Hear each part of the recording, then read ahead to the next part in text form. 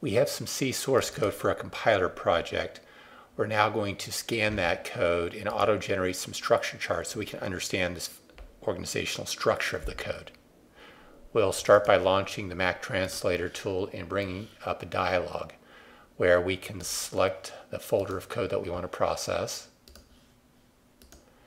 And step two we'll add a list of all the folders that contain the code. In this case, we're just going to be processing that same folder of code, although we could have a list of hundreds of different folders of source code that we want to scan. And step three, we want to go from C source code to a structure model. Step four, we want to scan all files in those folders with a .h or .c extension. And finally, we're going to click a build button that is going to uh, start processing that code. It's going to take a few minutes as it scans through all the source code in this project and at the uh, end of the process we'll end up with a uh, description of the next steps to take those files that it has that information that it has extracted from the code and import it to generate graphic models. Now that we've processed our code with MacTranslator, we're going to launch MacA&D to generate graphic diagrams. We'll start by creating a new project. Let's select the same folder that we used for the source code to hold our project documents. And we're going to need a dictionary and a structure model document. And the programming language being used is uh, C. And we'll go ahead and create the new project documents. Once the project documents are created, we can click open. It'll be at the top of our list and then we can open those documents.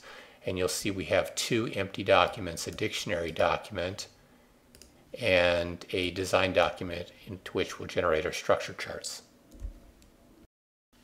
So let's start by importing the dictionary information collected by MacTranslator from the report menu, we'll just do import dictionary, brings up a dialog, and we want to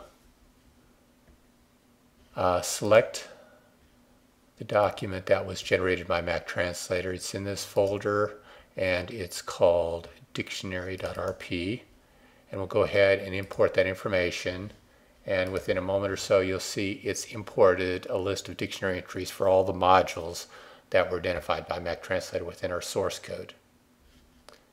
Next, we want to uh, generate a structure chart from the information. And we do that by doing an import childlist command. In this case, we note that the main function is called main. Uh, if we didn't know that, we could actually set a checkbox and MacA&D would help us to identify the main function of the thread of execution or if there's a multiple threads of execution, it could identify each one so we could create separate structure chart for a large uh, multi-threaded environment. We're going to, uh, again, click the pick button and we're going to locate the childlist.rp file that was produced by MacTranslator. And during the import process, everything could be imported to one giant flat diagram, although that if there's a lot of modules, that could be a very complex diagram. So it's nice to actually partition that into a stack of diagrams by allowing a, a module that fans out and calls more than X children to be pushed down to a child diagram. And there's an automated way of doing that by setting this checkbox and the uh, criteria on how many child modules needs to be below the calling module before it gets pushed down to a child diagram. So once we have our parameters set the way we want, we'll click OK and it will start the import process. Now this may take uh, a few minutes depending upon the size of the code as it's generating diagrams uh, from that source information that it's collected.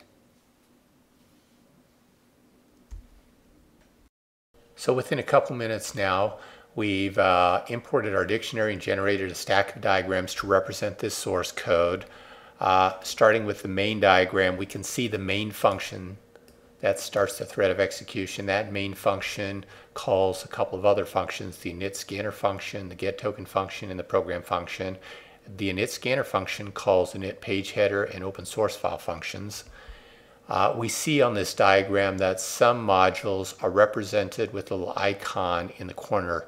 That indicates there's a child diagram linked to that module. For example, on the get token, if we double click on that module, takes us down into the child diagram and we see that starting at the top, we see the get token module and all the functions that it calls and so on. We can uh, shift double click up a diagram level or double click down a diagram level. If we want to look at the source code for a specific module, we can just select it and click the uh, code button and it navigates to the exact source code file that contains the source code of that function and links us right to the spot in the file that has the implementation of that module.